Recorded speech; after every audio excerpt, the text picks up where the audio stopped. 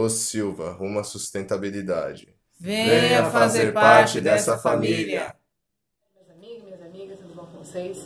Eu sou a, a Ana e hoje vim trazer uma receita aqui do pão caseiro. Só que é o pão caseiro, assim, um, um sabor assim totalmente diferente de todos que vocês vão, vão já experimentaram.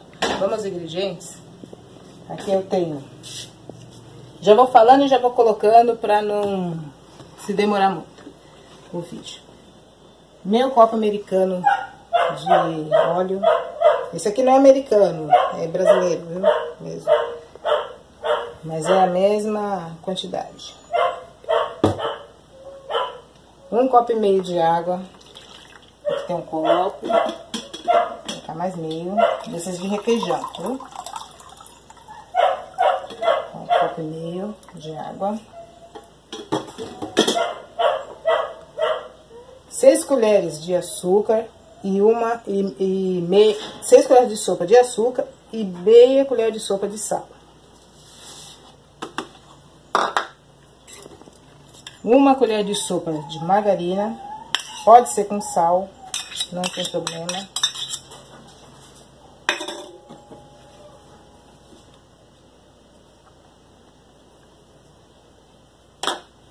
Vamos mexer. Dá uma mexidinha aqui.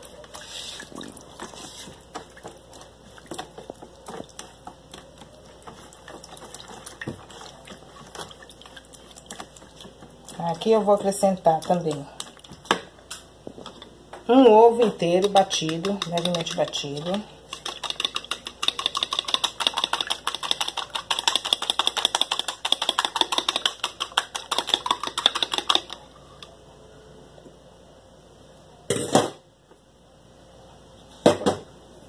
E 20 gramas de fermento biológico na massa. Vamos mexer.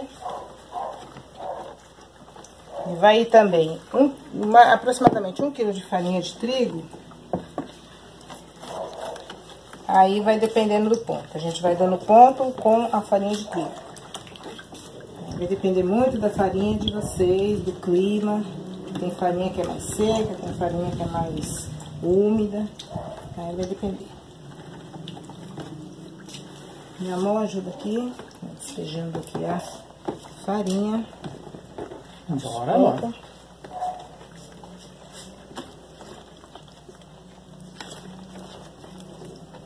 Vocês vão colocando a farinha até ir dando ponto de ir para a bancada pra gente poder sovar. Aí eu vou colocando aqui, quando estiver no ponto de colocar na bancada, eu volto com vocês pra gente dar uma sovadinha, ok? Olha, já coloquei colocando aqui, acrescentando a farinha de trigo. Agora eu vou colocar na bancada.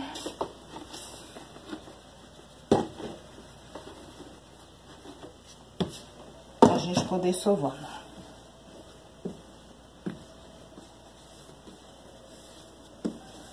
Vai sovando e vai acrescentando o trigo aos poucos.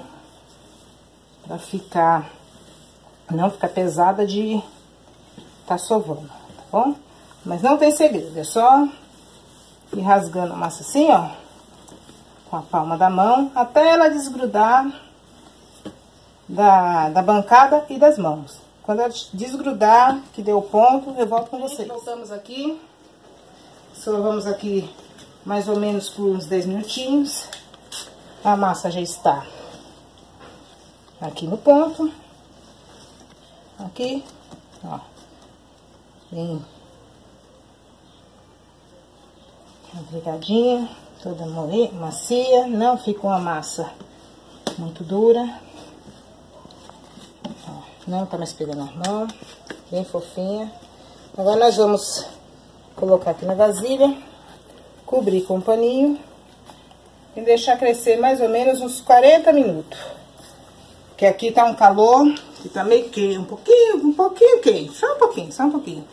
Agora, se na região de vocês for frio, aí deixa pelo menos uma hora, tá bom? E depois, quando crescer, eu volto com vocês pra gente continuar, tá bom? Bom, gente, passaram aqui 40 minutos. A massa já cresceu. Nós vamos agora dividir ela para modelar os pães. Deixa eu jogar a farinha aqui. Colocar ela aqui em cima.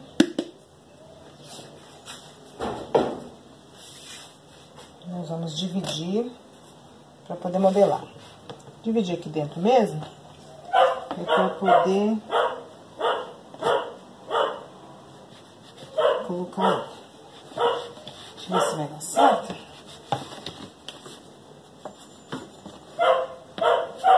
Aliás, fazer assim. Colocar ela aqui. Tirar esse aqui e dividir ela aqui. Aqui dá pra abrir. Dividir ela em quatro.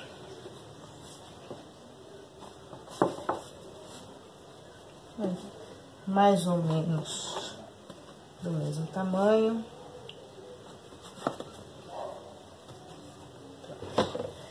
E aqui vamos colocar uma farinha para poder ir abrindo.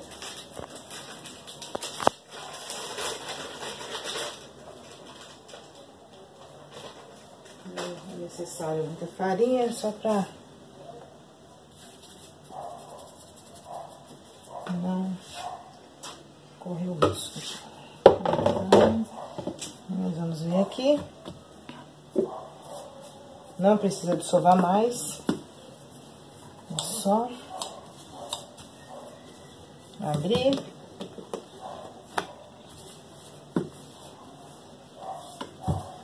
O rolo.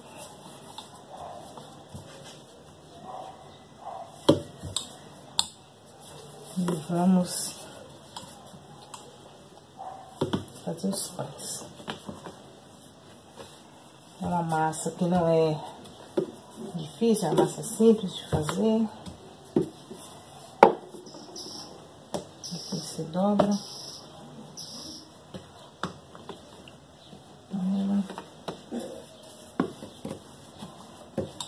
Aí o formato do pão vocês fazem de acordo com vocês é, quiserem.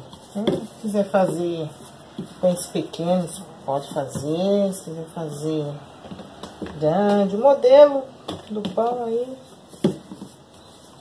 fica a gosto de cada um. Não tem necessariamente um, um modelo de pão, tá bom? Vamos abrir aqui. Aqui é pouco espaço, é complicado. E aí vamos ver assim, ó. A gente vem aqui, pega, aperta aqui e vai fazendo, ó, vai apertando, vai fazendo, apertadinha. Não precisa pôr força não, viu? É só apertando aqui pra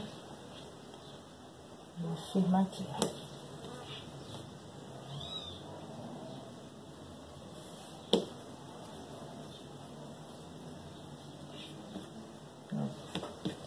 Bem assim.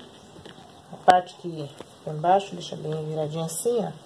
Vai ficar, o meu vai ficar nesse formato assim. Eu vou fazer todos iguais.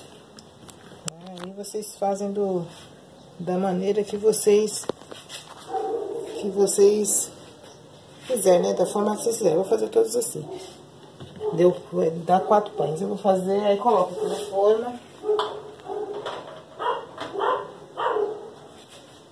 na forma. Vou deixar ele bonitinho.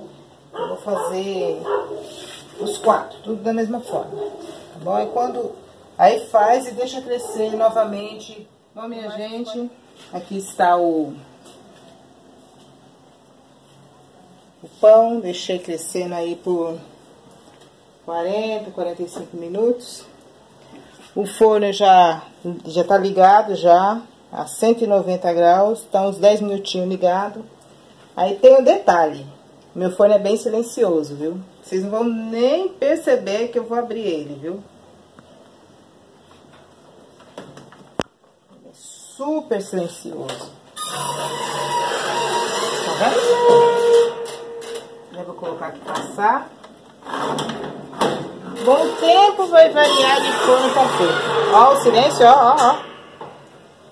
O tempo vai, vai variar do forno para forno. Quando tiver douradinho o pão, é o tempo que ele tá, tá pronto. Aí eu volto com vocês com ele já prontinho, tá bom? Bom, minha gente, ficou pronto aqui o, o pão. Aqui. Ele não é um pão assim de crescer muito, né? Mas ficou já no ponto, ó. Ficou 45 minutos no forno. Eu vou cortar um aqui, a gente tá experimentando, ainda tá quente. Vou cortar um aqui pra tá experimentando. Fica bem fofinho. Ó, como ele fica fofinho. E o e um sabor muito bom também. Eu tô dizendo assim porque eu já fiz uma outra vez, mas só que eu não gravei. Experimentar.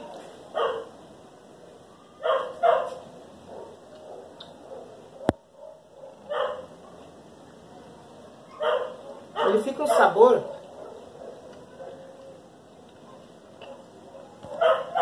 diferente de todo pão caseiro. Ele é bem diferente o, o sabor dele, mas é muito gostoso. Quero agradecer a vocês, espero que vocês façam. Fica muito bom mesmo, é rápido, não é um pão demorado, simples. Espero que vocês gostem.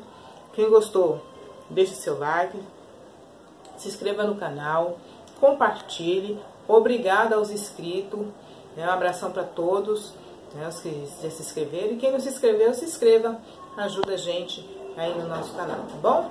Que Deus abençoe. Fiquem todos com Deus. Até o próximo vídeo, se Deus quiser. Eu, é, eu vou deixar aqui no card a receita da bolacha 7 capa. Uma delícia. Muito boa mesmo.